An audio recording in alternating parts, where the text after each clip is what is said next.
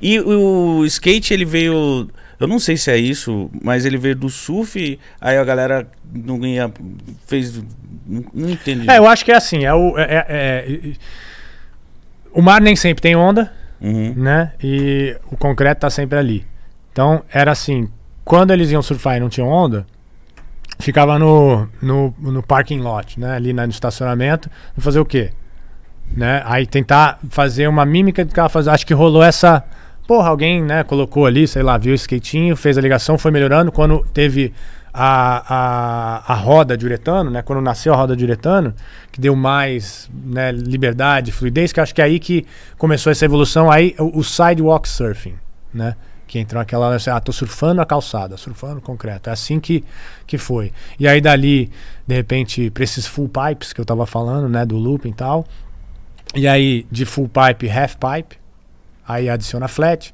Ou então vai andar na piscina, né? Os, os Z-Boys, né? uh, Lords of Dogtown ali, andando nas, nas piscinas né, vazias da Califórnia. Então essa também foi uma possibilidade. Ali abriu alguns. E assim foi. foi é bem. Ele vai evoluindo e vai aparecendo. A última modalidade do skate é a Mega. Que foi a última que, É. que nasceu, assim. Mas a vocês- mais recente, não a última. a é, mais vocês recente. que estão. que vivem aquilo, vocês. Vocês sentem que vem coisa nova? Como que é a expectativa? Ou vocês ficam torcendo, caralho, tomara que alguém lance um bagulho novo aí, mano, pra nós voar, cara. é, eu não, no meu caso, assim, é como eu, eu já tenho uma experiência, já criei alguns obstáculos, já tenho minhas rampas em casa, então se eu quero fazer algo, eu vou lá e crio, né?